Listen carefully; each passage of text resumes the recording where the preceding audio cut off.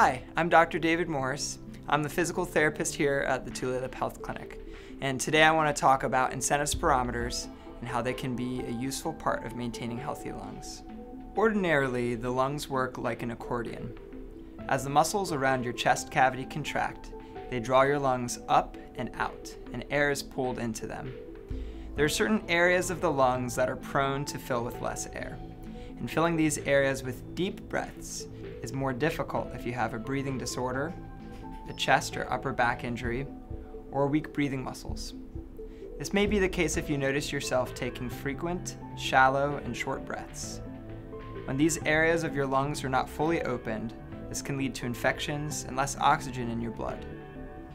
People who will benefit most from this would be those who have low blood oxygen, weak lungs, chronic lung disorders like emphysema, chronic bronchitis, or asthma, or just poor conditioning. This is an incentive spirometer.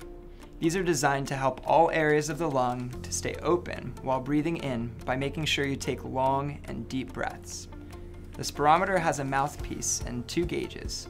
The left gauge shows how forcefully you breathe in. The right gauge shows the amount of air you're breathing in. On the right gauge, you'll find a marker set to 1500 milliliters. You'll want to slide that marker to match your best breath, always trying to do a little better with each breath. When using this spirometer, sit upright and hold it level with no tilt. Breathe out gently, then set your lips around the mouthpiece and breathe in moderately fast and evenly. The ball in the left gauge will hover upward more depending on how forcefully you breathe in. A good breath will keep the ball in the middle of the gauge and get to at least 1500 milliliters. Hold your breath for a few moments, then breathe out slowly.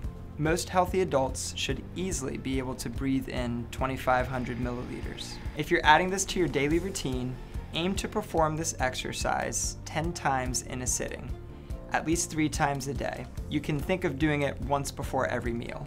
Some discomfort is to be expected as you work to strengthen your lungs. Be sure to always follow the instructions of your doctor or respiratory therapist. There are few risks related with incentive spirometer use. We recommend stopping if you're feeling lightheaded. Individuals with emphysema should avoid vigorous use of the device. Additionally, if you have a collapsed lung, recent eye surgery, or an aneurysm in the chest, abdomen, or brain, you should consult your doctor first before use.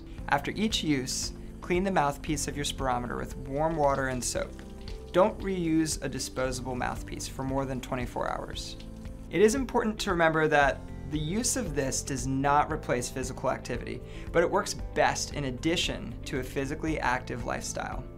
It's been well known for a long time that exercise has an insane amount of benefits, including improved response to inflammation, improved mucus metabolism, improved lung strength, increased blood vessel growth surrounding muscles and lungs, better cell function with low oxygen, more efficient use of lungs and breathing. Especially in light of the COVID 19 pandemic, a healthy and active lifestyle cannot be downplayed. So let's keep on taking care of what we've been blessed with.